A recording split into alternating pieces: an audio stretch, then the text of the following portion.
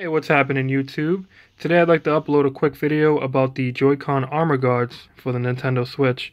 Now I was actually able to find these at my local Target store for $4.48 as you can see there on the clearance sticker from $15 or $14.99.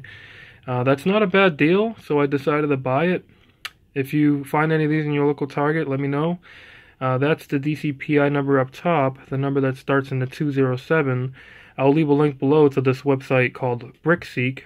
And on brickseek.com, you can basically look up that number there with your zip code and you can see how much these are running for in your local Target.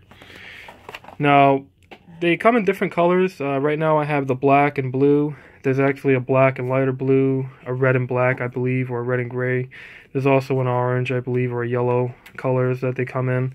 And overall, as you can see here, it's on my Joy-Con. They come with joystick covers as well, so you don't scratch your you know joysticks or cut them or anything like that.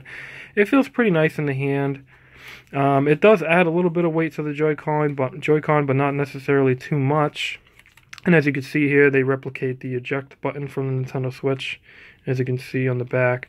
Um, overall, not a bad design. Uh, my Joy-Cons feel pretty protected, and when you slide this into the Nintendo Switch, it does fit nicely. Uh, bear with me for a moment. So it does fit on the Nintendo Switch nicely. Uh, my only issue with it is on the edge here. You can see that it it kind of sticks out a little bit, you know, on the bottom of the console. So that's actually not the greatest, you know, design choice in my opinion. And uh, right here, as you can see on the blank one that's empty, um, this kind of gets in your way when you're hitting ZL or ZR. That little, you know, that little spot right there.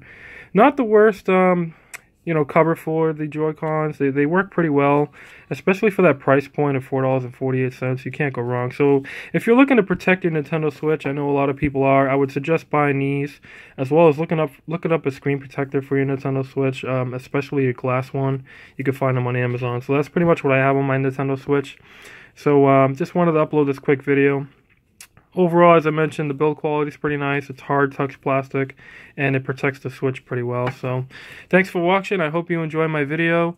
Thank you, and please like and subscribe. Have a good one.